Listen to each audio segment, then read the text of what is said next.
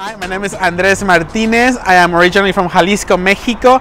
I currently live in Anaheim, California, and I'm a journalist at heart.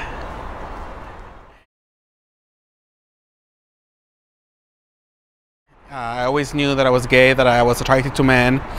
Um, so yeah, um, it, it, it, it was hard because I mean my dad is a very traditional Mexican man. Um, a conversation that my dad was having with my aunt. Um, there were rumors that my cousin was lesbian, and I remember my dad saying, "Si uno de mis hijos sale maricón le mucho los huevos." Felt the pressure. The pressure was on me. I needed to be the example for the family. I needed to make him proud.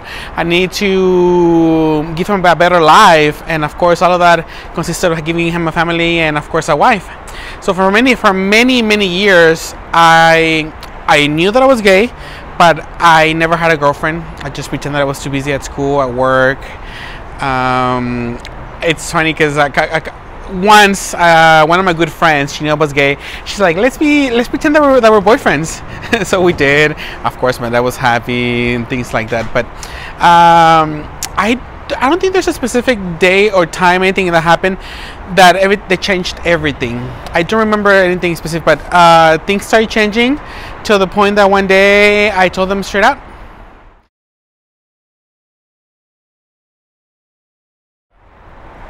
Genial. Eh, obviamente existe todavía ese tabú. Existe el tabú de qué tanto decir, qué tanto no decir. A, mi hermano le, le, encanta molestarnos cuando estamos en familia, en frente de mi papá. O sea, como que he puts me on the spot. Eh, no sé, por ejemplo, ah, me dice hermano, mira hermano, mira, mira. Y yo, it, cálmate, ahí está mi papá. So, um, hasta un cierto límite todavía como que existe eh, algún tipo de barrera que sí no, no me permite ser igual como con mis amigos, se podría decir, ¿no? Porque creo que es un poquito más por respeto, tampoco no le quiero hacer sentir incómodo, ¿no? Pero sí, o sea, obviamente yo estoy seguro que, por ejemplo, eh, la primera vez que llevé a un chavo a mi casa, que se los presenté como mi amigo, o sea, no hubo ningún problema, o sea, era como cualquier otra persona, ¿sí? So, so, so, son momentos muy, muy, agradables que yo nunca me hubiera pensado, cuando tenía 15 años, nunca hubiera pensado que iba a estar viviendo esos momentos. Me growing up, I never had those figures. So I never had anybody to look up to. No, nobody uh, for me to talk to about being gay. No, no one to look up, up to.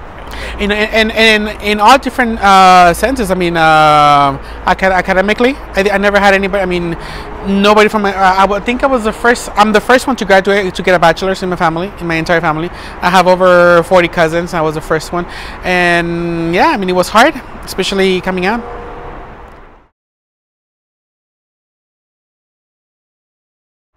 Explore, explore, explore, at your own pace uh, I think there's no set of rules for coming out or for exploring your sexuality.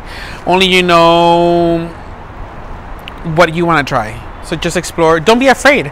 If there's something you don't like, just don't do it. Estamos en un, en un, bueno, por lo menos para mí, yo soy de los que estamos eh, retomando esa palabra, ¿no? Antes era como que, ay, mira el joto.